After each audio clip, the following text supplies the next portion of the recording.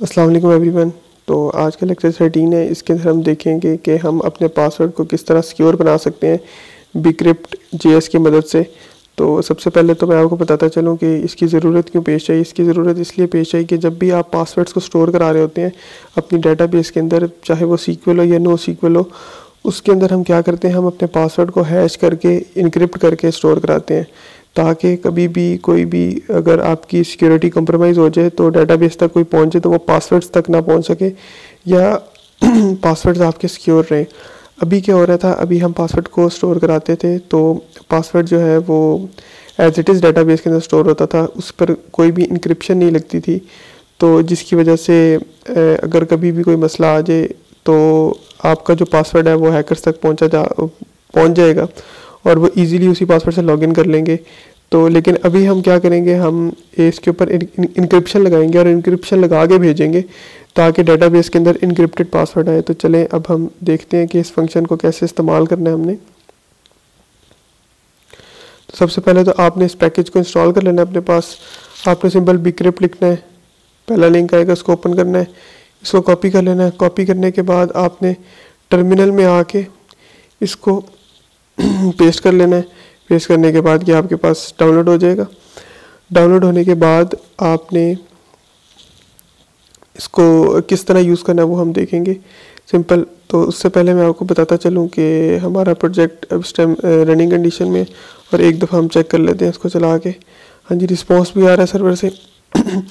तो अब हम देखते हैं कि हमने किस तरह इसको चलाना है। सबसे पहले हम ये ऑस डॉट जी की फ़ाइल के अंदर आ जाते हैं।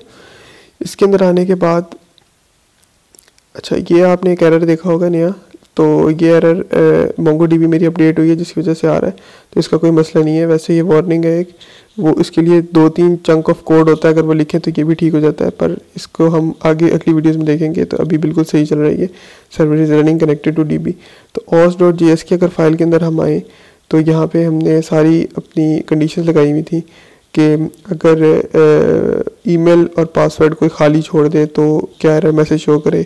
और जब यूज़र रजिस्टर हो जाए तो वो सारी जो चीज़ें थी, वो हम इसके अंदर देख रहे थे, इसके अंदर कि अगर यूज़र पुराना एग्जिस्ट करता है तो वो क्या करे? अगर नया यूज़र एग्जिस्ट आ रहा है तो वो उसको बता दे कि यूज़र पहले का एग्जिस्ट करता है। ये सारी चीज़ें हम इसके अंदर हैंडल कर रहे थे। ये साइन इन का फ़ंक्शन लिखा हुआ था हमने, जिस तरह पिछली वीडियो में देखा था। तो अब हमने क्या करना है? हमने एक मिडल वेल लिखना है अपना। वो मिडल वेयर क्या करेगा? जब भी हम यूज़र डॉट सेव का फ़ंक्शन कॉल करेंगे, जिस तरह ये फ़ंक्शन कॉल हुआ है, इस सेव के फ़ंक्शन से पहले वो कॉल होगा प्री कॉल होगा। इस फ़ंक्शन से कॉल होने से पहले कॉल होगा। एक मिडल वेयर हम लिखेंगे, जो कि सेव के फ़ंक्शन से कॉल होने से पहले कॉल होगा और वो हमारे पासवर्ड को हैश कर देगा।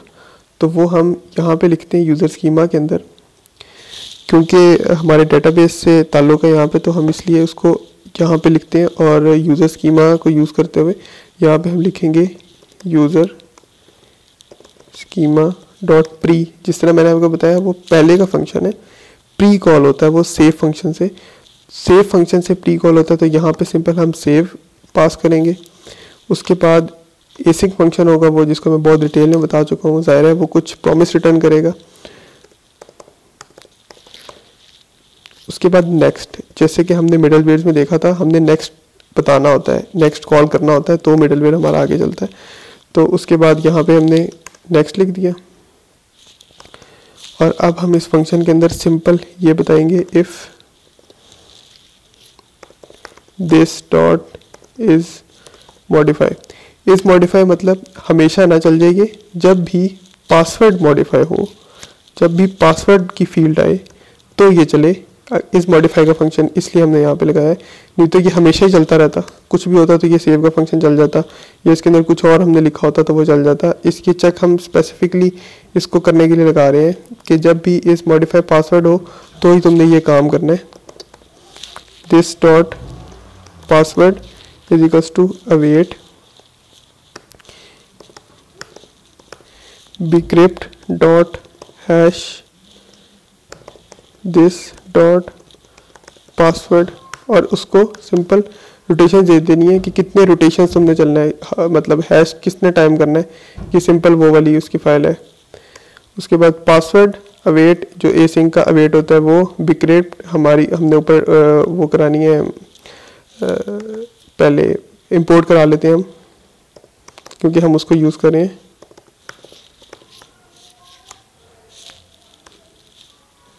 रिक्वायर उसके बाद हम यहाँ पे लिख लेते हैं बिक्रिप्ट ठीक है हमारे पास ये बिक्रिप्ट आ गई। अब हमने यहाँ पे लिख दिया this dot password await bcrypt dot hash को है, हमारे पासवर्ड को हैश कर दो। ट्वेल्व राउंड्स ये इंक्रिप्शन बता रहा हूँ कि कितने राउंड करनी है इनक्रिप्ट कितना सिक्योर हो या जो भी। तो बाय डिफ़ॉल्ट ये जो ट्वेल्व राउंड फॉलो होता है तो इसलिए हमने ये लिखा है। आप लोग कुछ और भी लिख सकते हैं यहाँ पे। पासवर्ड और कन्फर्म पासवर्ड को हमने हैश करना होता है।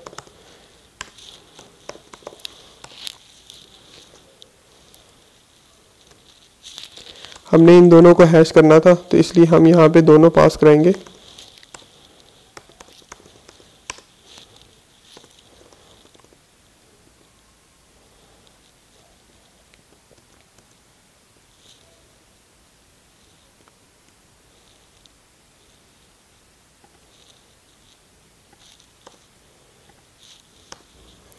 चलें, ये हमने लिख दिया यहाँ पे यहाँ पे एक एरर मैसेज शो कर रहा है कोई।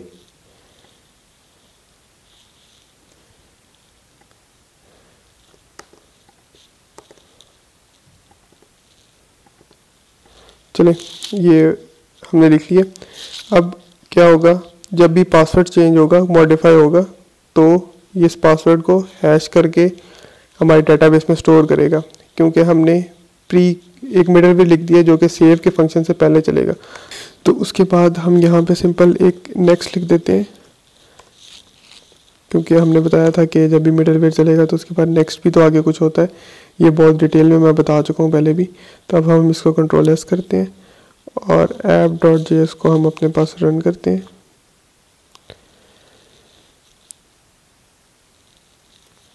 कि जिस तरह के देख सकते हैं डाटाबेस के साथ हमारी कनेक्टिविटी हो गई है। अब हम डाटा अपना सेंड करके देखते हैं कि वो इनक्रिप्ट जा रहा है या नहीं जा रहा। तो मैं यहाँ पे कुछ लिख देता हूँ सेंड करता हूँ।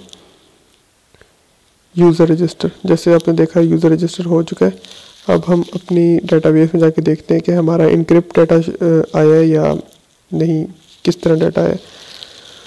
तो इसको मैं रिफ़्रेश कर लेता हूँ।